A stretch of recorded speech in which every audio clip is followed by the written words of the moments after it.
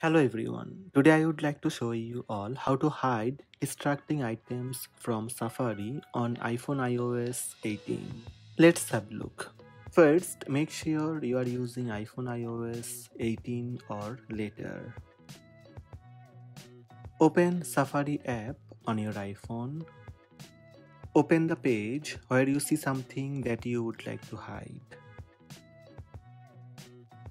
Tap on the side controls menu icon on the left of the address bar. The element should be in the view because once you turn on distraction control, you can't scroll the page.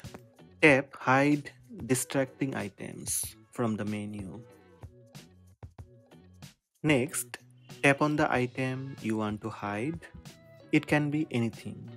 An ad, a cooking pop-up, social media share buttons, floating banners, or a video. It can basically hide any element from the page, even parts of the website. Tap the hide button. The item would disappear with animation.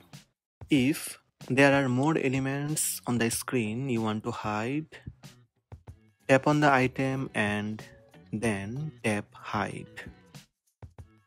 After scrolling, if you find more items to hide, you have to repeat the same steps.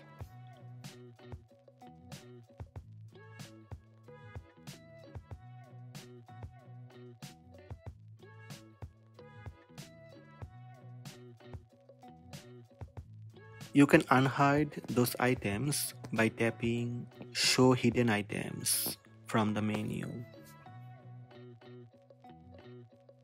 So these are the steps to hide distracting items from Safari on iPhone iOS 18. Hope this video help you. Please subscribe my channel by tap subscribe button. Also tap the bell icon to receive notifications about all new videos.